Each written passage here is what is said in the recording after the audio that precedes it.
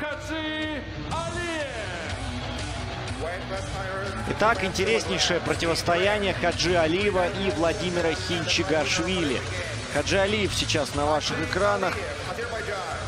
Бронзовый призер Олимпийских игр в Рио. На чемпионате мира трижды выступал, три золота у него. На европейских играх, ну вернее не трижды выступал, три раза брал чемпионат мира, э, три, бра, три раза брал чемпионат Европы. А вот и Владимир Хинчигашвили. Олимпийский чемпион Рио 2016 года. Также серебряный призер Лондона 2012 года, где в финале проиграл россиянину Джамалу Атарсултанову. Чемпион мира в Лас-Вегасе 2015 года. Но с Хаджи Алиевым они встречались дважды. Владимир Хинчигашвили дважды его побеждал.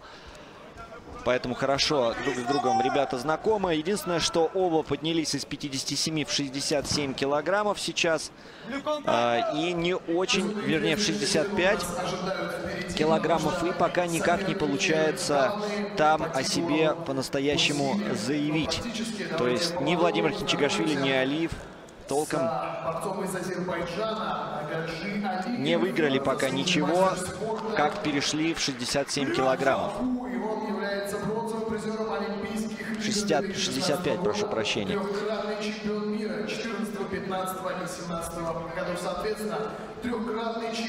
И, кстати, все время Владимир Хинчигашвили натыкается на россиян э, и терпит от них поражение. Гаджимурат Рашидов побеждал э, Хинчигашвили. Начин Кулар. Ахмед Чекаев. Правда, с Ахмедом Чекаевым там была победа и у Владимира. Исмаил Мусукаев, кстати, тоже побеждал Владимира Хинчигашвили. Причем как в сборной России, когда он был, так и в сборной Венгрии, когда уже выступал.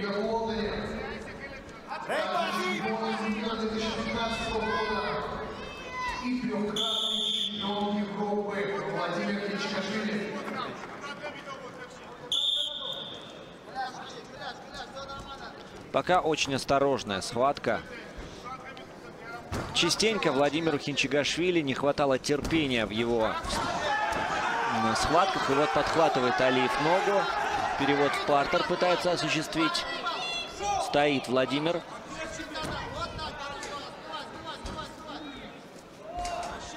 Сбил, да, сбил ноги. Два балла Алиев заработал.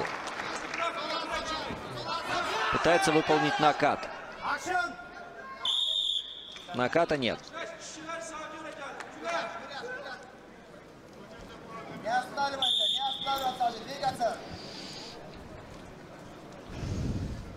Многие говорят о том, что эти ребята маловаты для данной весовой категории, но Владимир Хинчигашвили, например, не раз говорил в интервью, что ему уже тяжело гонять в 57. Фактически это нереально сделать, поэтому он принял решение не оставаться в неолимпийском весе 61, а сразу же переходить в 65.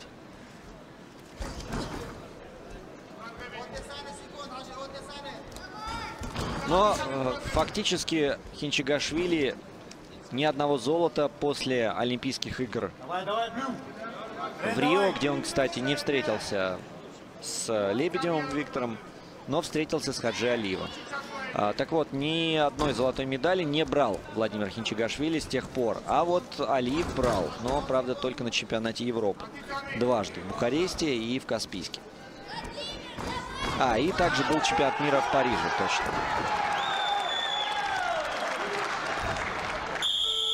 4-0. Первый период завершен.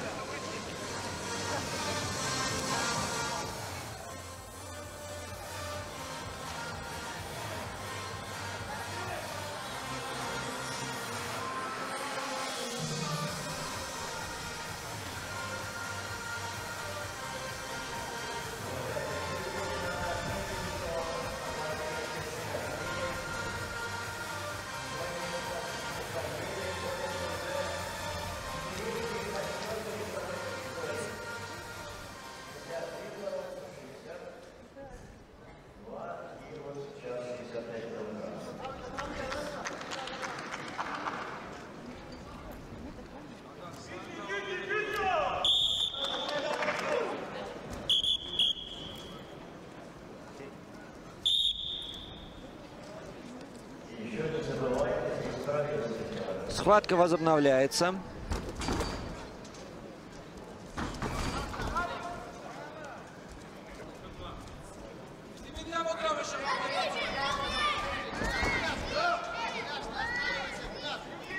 Владимир Хинчигашвили, конечно, это борец, который умеет включаться в нужный момент, когда это необходимо сделать.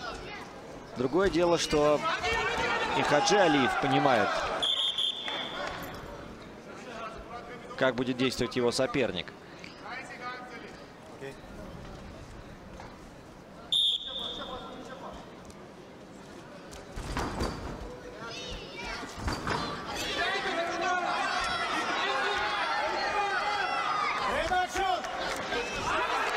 Вот подхватывает Кинчигашвили ногу. Но уходит Хаджи Алиев. Пытается извернуться, выйти из захвата. Отпускает, отпускает Хинчигашвили. Так, что там у нас?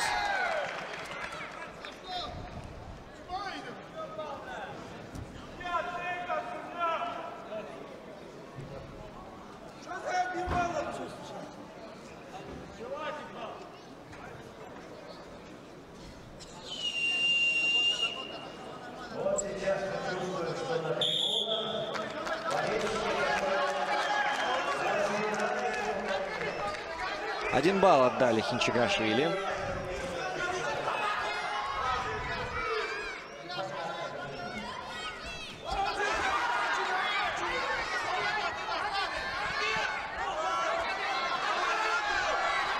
Ну вот этот прием он применял а, против Рея Хуригучи на Олимпиаде в Рио. Тогда он сработал на 4 балла. Здесь не получилось поднять Хаджи Алиева. Все-таки соперник-то тяжелее.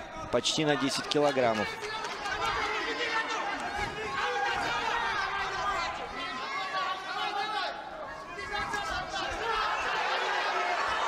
Минута до конца. Вот два балла Хичигашвили зарабатывает.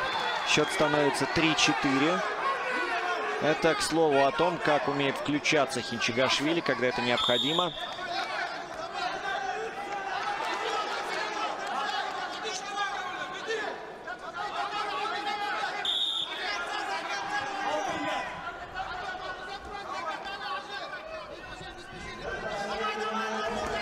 Ну что, последняя минута. Отдает захват. Хинчигашвили, но пока не потерял позицию. Так, один балл отдают Алиеву. 5-3. Но вот Хинчигашвили спасет движение на 2 балла.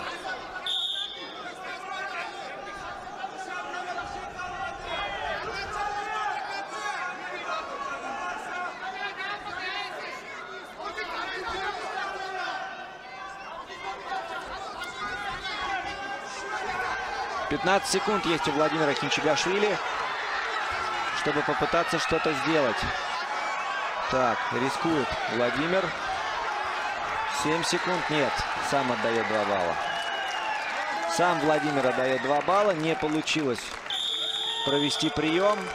Схватка завершена. Хаджи Алиев одерживает победу. И счет становится 2-1 в их очной встрече.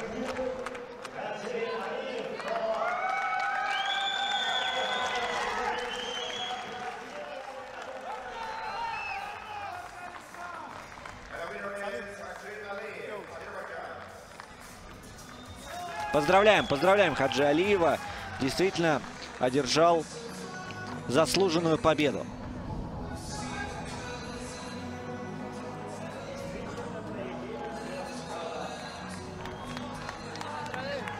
Спорим, помогли.